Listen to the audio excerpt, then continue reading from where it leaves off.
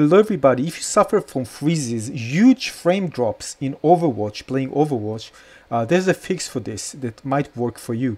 As you can see here, this is what happens. I, I could barely play. I, at some moment, I just couldn't play. And it's just frozen and just needed to get out uh, in the middle of the match. So I'm going to show you how you can actually solve this. Just look how bad the frame is, frame drop is. Just crazy. You just can't play. It's just unplayable. Eventually, it's just frozen. I just couldn't play. So if you suffer from the same thing, I'm going to show you in a moment how you can fix this. This is actually where it kind of got even stuck. I just couldn't play. Look how bad it is.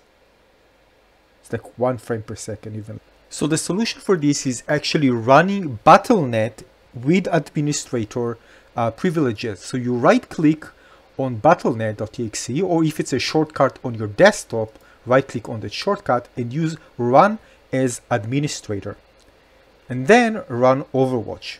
Just make sure that after you do run as administrator, you confirm also uh, this one. So that's a dialog box that will appear. All you need to do is just do that, run the game, choose Overwatch, run the game, and it will solve it for you.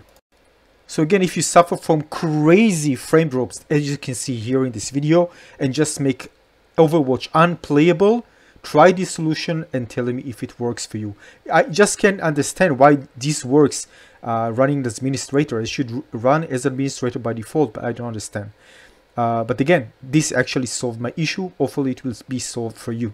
Again, tell me if it works. And I see you in the next video. Thanks for watching everyone. Cheers. Bye bye.